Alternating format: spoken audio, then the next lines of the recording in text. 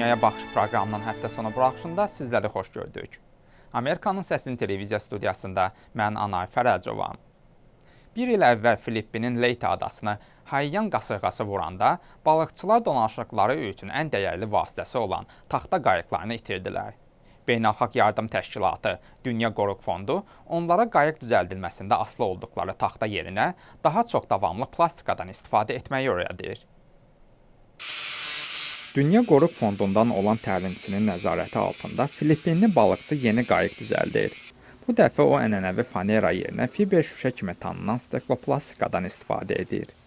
Leyte adasını 2013-cü il noyabrın 8-də vuran güclü qasırğa 7300 insanın ölümünə və itkin düşməsinə səbəb oldu.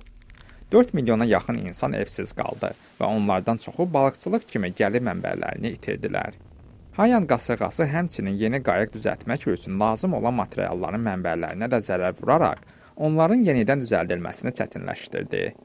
Dünya Qoruq Fondu Filippinli balıqçıların tezliklə normal həyata dönə bilmələri üçün kömək etmək qərarına gəlib. Patrick Vincent Co deyir ki, Bankas adlanan qayıq layihəsi Filippinlərə onu necə qısa vaxtda düzəltməyi öyrədir. We feel that this is simply uh, the next step forward Biz bunun həm zərurət, həm də praktiki cəhətdən ağac yerinə fiber plastikadan istifadə etmənin irəliyə atılmış sadə növbəti addım olduğunu düşünürük. Bu, həmçinin ekoloji baxımdan da yaxşı səslənir. Ramon Binamira deyir ki, balıqçılar əvvəl fiber plastikanın möhkəmliyinə şübhə ilə yanaşırdılar. Is it strong enough? Will it be able to take the day-to-day -day abuse? Bu kifayət qədər möhkəmdirmi? Bu balıqçıların gündəlik istifadəsinə tab gətirəcəkmi? Fiber plastik qayıq sınaqdan məharətlə keçərək şübhələrə son qoydu.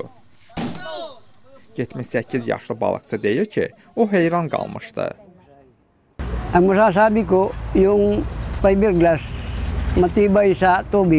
Mən bunu deyə bilərəm ki, fiber plastik qayıq suya davamlıdır. Taxta qayıqlar isə əsasən də palçıqlı suda çürüyə bilir və asanlıqla çirklənir. Ano, bruma.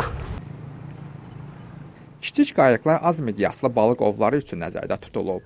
Dünya Qoruq Fondu ümid edir ki, yeni qayıq düzəltmə imkanları balıqçılara daha böyük qayıqlar düzəltməyə yardım edəcək. Yeni texnologiya onlara iqlim dəyişikliklərinə hazırlıqlı olmaqda və meşələrə olan tələbatın azaldılmasında rol oynayacaq.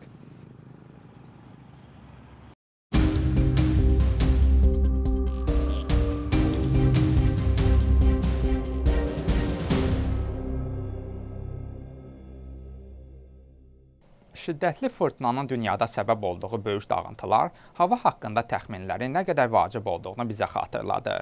Brüsseldə keçirilən meteoroloji sərgidə hava haqqında təxminləri daha da dəqiqliklə bildirəcək və onun təsirlərinə daha yaxşı hazırlıqlı son texnologiyalar nümayiş etdirilib. Keçən il oktyabrın 17-sində Gonzalo qasırğası Bermuda adasını vuraraq ağacları, elektrik naqillərini qıraraq yolları və küçələri keçilməz hala salıb ziyanın miqyası böyük olub. Ancaq əvvəlcədən elan olunan xəbərdarlıq sakinləri qasırğaya hazırlıqlı edib və heç bir ölüm hadisəsi və ya ciddi xəsarət qeydə alınmayıb. Alimlər deyir ki, hava haqqında təxminlər etmək olduqca çətindir. Çünki bir çox dəyişkən faktorlar nəzərdə tutulmalıdır. Olduqca mürəkkəb alqoritmlər və superkompüterlərin köməyi ilə hava haqqında təxminlər etmək getdikcə asanlaşır. ABŞ Milli Okean və Atmosfer Administrasiyasından bildirirlər ki, onların ixtira etdikləri yeni sistem dünyanın hər yerindən milyonlarla məlumat toplayaraq 4 dimensiyalı model meydana gətirir.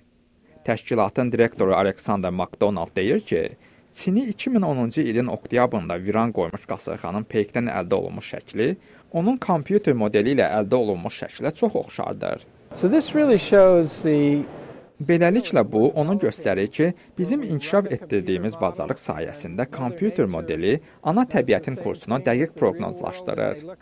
Biz bu inkişafdan çox məmnunuq. Havanın çirkliliyi böyük şəhərlərə və sənaye sahələrinə təsir göstərən bir başqa fəlakətdir. Beləliklə bunun sağlamlığa əks təsiri vaxtında ölçülə götürməklə qarşısı alınır. Britaniyada yerləşən Trunkey şirkətinin direktoru Alan Taylor deyir ki, Onların Topaz adlandırdıqları cihaz lazerlər vasitəsilə havaya nəzarət edir. Ancaq o deyir ki, dəqiq ölçülər problemi həll etmir. It's what the cities do about it. Şəhərlər bu haqqda bir şey bildiklərində nəsə edə bilərlər. Onlar avtomobilləri dayandıra bilərmi? Onlar yük maşınlarına müdaxilə edə bilərmi? Beləliklə biz bu məlumatı alırıq. Ancaq inzibati rəhbərliyi nə edəcəyi artıq başqa məsələdir. Hətta hava çirkliliyi olmayan şəhərlərdə digər atmosferik vəziyyətləri ölçmək çox mühümdür. Məsələn, allergiyası olan insanların həyatını dözülməz edən toz səviyyəsini.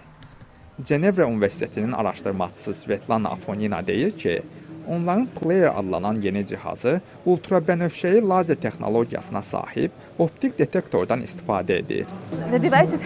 Cihaz çox yüksək dəqiqliyə malikdir. Atmosferdə fərqli hissəcikləri müəyyən etməyə imkan verir.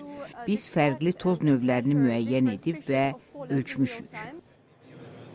Artıq 5-ci ildir keçirilən Brüssəldəki sərgi dünyanın müxtəlif güşələrindən 2500-dən çox insanın diqqətini havanı proqnozlaşdıracaq texnologiyaya çəkib.